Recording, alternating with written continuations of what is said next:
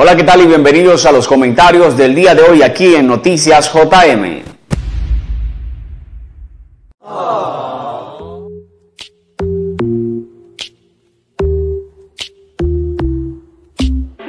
Comentario número uno. Se desarrollan talleres sobre prevención de riesgos eléctricos en La Guajira. Aire desarrolló esta actividad dirigida a la juventud abordando temáticas relacionadas con el uso eficiente, seguro y legal de la energía y fomentar cultura de seguridad y prevención frente a los riesgos eléctricos. Adicionalmente, a través de talleres didácticos, la empresa entrega un mensaje de ahorro y consejo para adoptar ante la temporada de calor como parte de su compromiso con la comunidad y el medio ambiente. La empresa enfatizó la importancia de estos talleres de formación que se vienen desarrollando a lo largo de los 14 municipios de La Guajira y del distrito de Riguacha para concientizar sobre la prevención frente a los riesgos eléctricos cuando se manipulan las redes de cables energizados.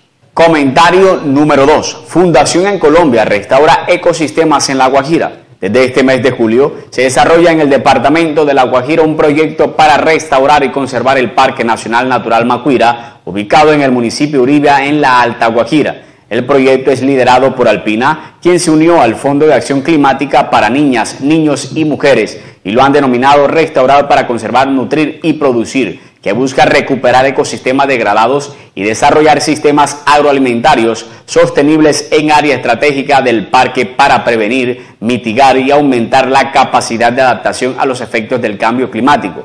El trabajo será realizado por dos años de la mano de 360 participantes de tres comunidades guayú. Una vez se finalice el proyecto, se espera incrementar la productividad, el acceso inocuo a alimentos diversos y nutritivos, así como la adopción de prácticas agroecológicas dentro de las unidades productivas.